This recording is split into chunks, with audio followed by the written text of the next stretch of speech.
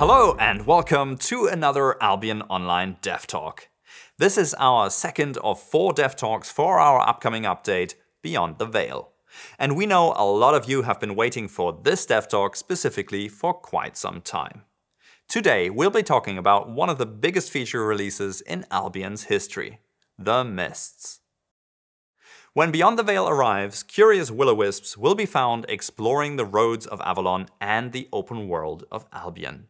These mystical beings are timid and easily frightened, and when approached will likely retreat, using their power to traverse great distances toward their home in the mists.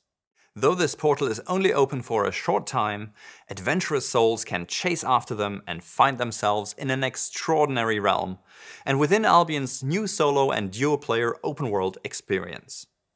Portals to the Mists are extremely volatile and close after one use, ensuring only a single player may enter through the portal at a time.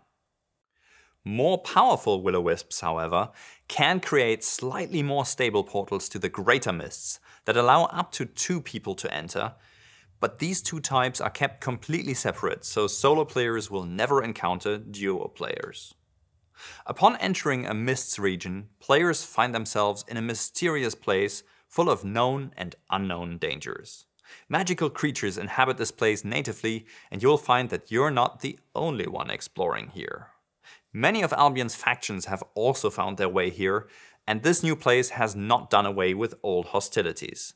The heretics and Morgana alike have been trying to exploit the power within the mists and can be seen capturing wisps to study them for their own nefarious ends. And the undead? Well, they've been here all along. Fortunately, Enemies won't be the only thing you'll encounter within the mists. Though most regions here aren't quite as rich in rewards as the Outlands, successful adventurers will always be able to find wealth. You'll be able to find treasures similar to those found in the open world. Gatherers will be able to find both enchanted and unenchanted resources in a variety of forms. The unfamiliar creatures you'll find here are just as curious as the mists themselves.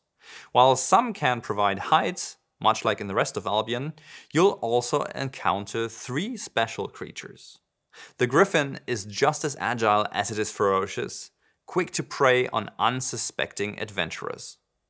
The Mistcrawler is equally dangerous, but an industrious crafter can find use for its resilient carapace. Finally, the Fey Dragon may look innocent and alluring, but its mastery of wild magic makes it just as dangerous an adversary as any other within the mists. Some mist regions are enchanted and carry greater rewards at the cost of greater danger. Similar to enchanted solo dungeons, the enemies here will be more powerful but yield more fame and riches.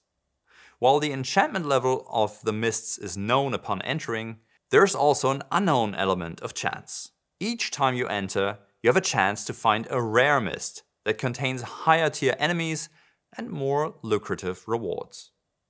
Finally, of course, there's the danger of other players. The mists have both non-lethal and lethal areas, while the greater mists are universally lethal. For this reason, entrances to them can only be found in similarly lethal areas throughout Albion. All areas in the mists exist far beyond the rule of law, and whatever happens there doesn't affect one's reputation back on the royal continent. That means players are free to engage each other at will, but you'll have to be smart about it, as you'll have full access to your mount, making escape easy if one stays alert. And since everyone within a Mists region came through their own portal, everyone within is on their own and cannot count on the backup of their guild or alliance. Even if players group up on the spot or encounter a friendly face, such groups will be torn apart as tides of the mists rise and recede in a constant state of flux. Eventually, any region will be consumed by the growing mists. If you're quick, you can follow the will-o-wisps as they flee to their next place of refuge. If you're not, you're likely to become lost in the mists and will find yourself returned to the place you first entered. If you do choose to explore the mists, despite the dangers and competition from other players, you will also have an opportunity to discover the fate of the will-o-wisps, who have become endangered by the sudden influx of outsiders, and you'll find many of them in need of aid. Helping them will earn you their gratitude, though you'll have to find out for yourself if the gratitude of Wisps has any tangible value. As you can see, the Mists are an all-around open world-like experience full of PvE, PvP, new opportunities to seize and mysteries to discover, all within a space dedicated completely to solo and duo play. We hope that you've enjoyed this first look at the Mists, and we look forward to getting this feature to you later next month. Whether you're after fame, fortune, or delving deep to uncover secrets, we hope you'll enjoy this brand new adventure in Albion Online.